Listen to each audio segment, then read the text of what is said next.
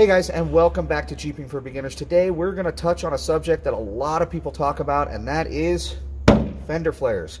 We know on some of the older Jeeps like the JKs and the TJs, these things fade really fast, and especially when you put it up against a dark color like the black, they just sort of look like crap. And so when you're building your Jeep, you want that nice stance and that nice look, so we could either cut them back or replace them with something that's a little bit more stylish. Let me show you what we're going to do. Thank you.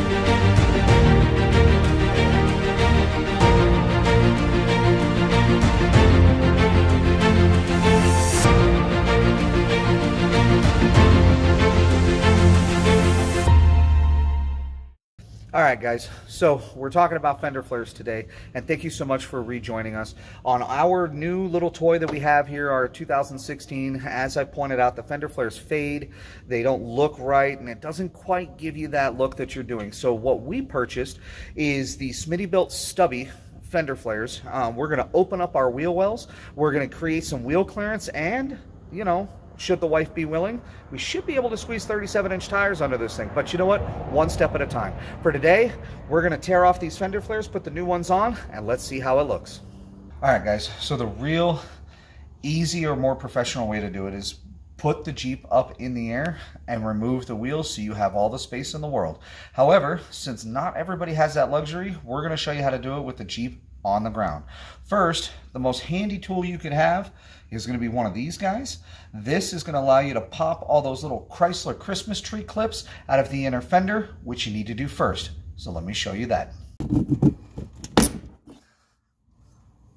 We're starting with the rear fenders, and there are six of those clips altogether. Once you get those out, now we're ready to take the fender flare off. Now, since our example is a JK Wrangler, this is what I have to show you. Most Jeeps are going to be very similar. Some of the older Jeeps, there might be a little bit more hardware. But the nice thing about the fender flares that Jeep puts on here is they are breakaway flares, which means that they're designed to take a hit and to pop right off if necessary. So in order to get them off the Jeep, it's just a matter of putting some strength into it and ripping them off.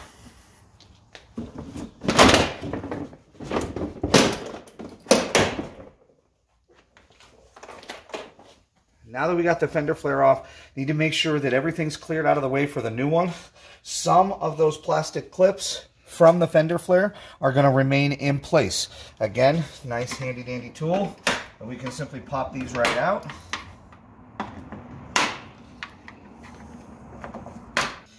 And don't worry about breaking them because you're not going to reuse them. The new flares are going to come with brand new hardware. Now the gap between the factory inner fender flare and the body is going to trap a lot of dirt, especially if you off-road your Jeep. So what we're gonna do is get everything prepped.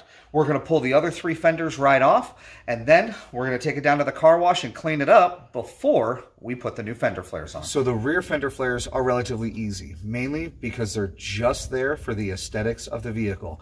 The front fender flares, on the other hand, there is one extra step. Most of these are going to have a light in them. If you just rip it off the Jeep, which it will rip off the Jeep, you are going to end up tearing the wiring for the light. So first things first, we need to disconnect this light and take it out of the equation. So the plug for this light, if you pull back on the inner flare and look up, is actually right here. So we are going to reach up, press in the pin. All right, so we're just going to press in on the clip, pull down on the plug, and it's now free.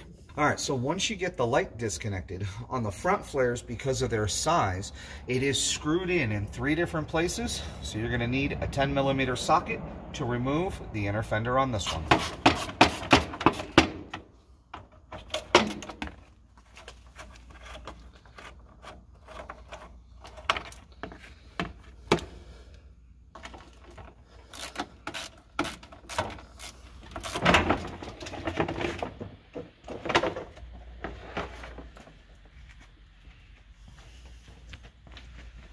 When you take the front fender off, you'll notice this little support here.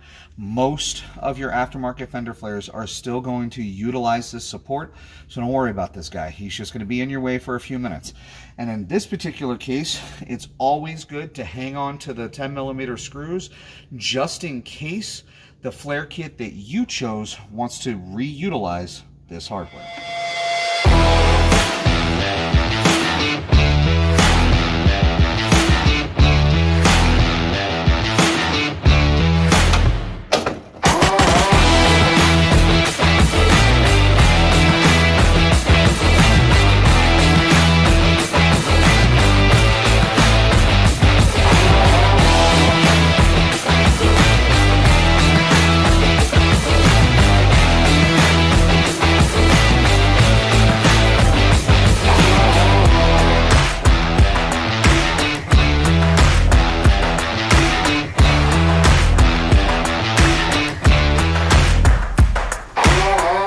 Guys, so now that we got it all cleaned up, we're going to start the process of installing the new fender flares.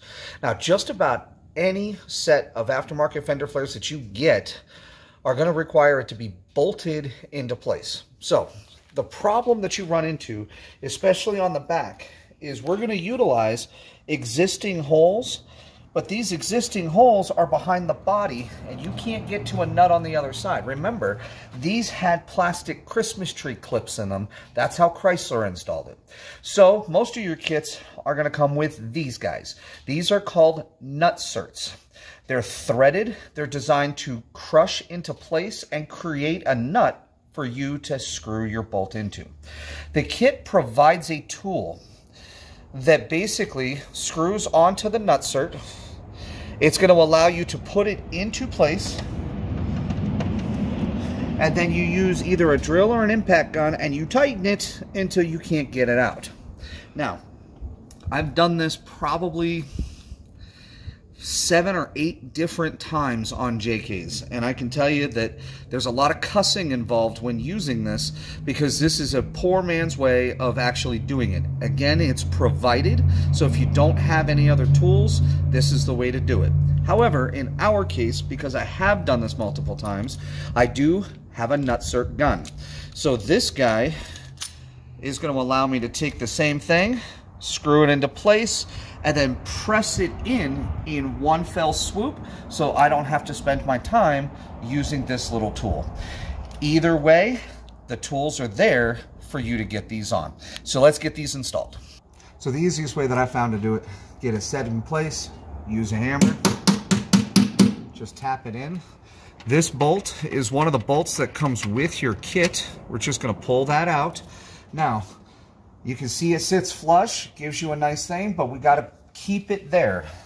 So that's what this guy is for. We're going to screw this right onto it until it's nice and tight. And then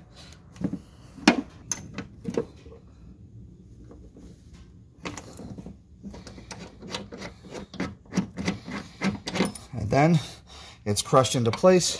It won't come out. Now you got a spot for your provided screws. Let's get the other seven of these in so we can get this fender flare installed.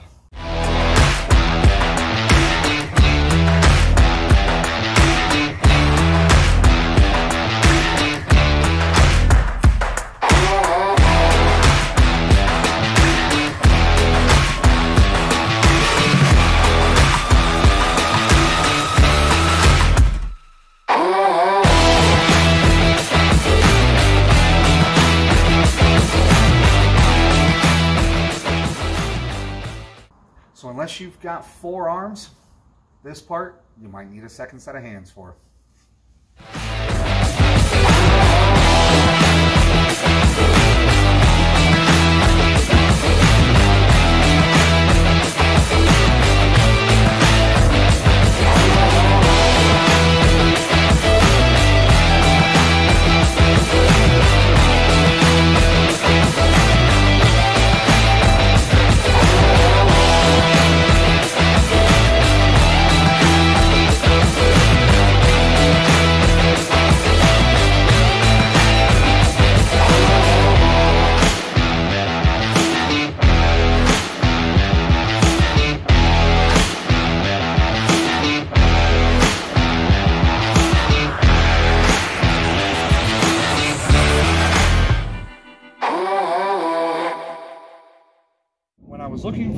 Nuts that go with the bolts, as it's been on the other seven or eight kits of these that I've installed.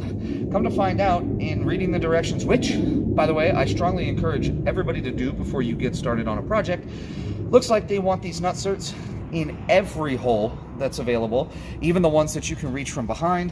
So, we're gonna go through and make sure to line them up. Now on the front, you are gonna have extra holes. Don't don't worry about those. We're looking for the holes that the clips themselves came out of because that's what the fender flare is going to line up to. So really guys, it's that simple to put these things on. Once you have the nutserts in place, they just bolt right up, line right up, and then you got a nice clean look. I hope that video was informative. Hope it answers some questions. If there's something that I left out or something that you need to know, don't hesitate to put it down in the comments down below and I'll get to them just as quick as I can. One final note I am going to say, because we do have a black Jeep with black paint and black flares and black wheels and all black, we are going to try to break this up just a little bit.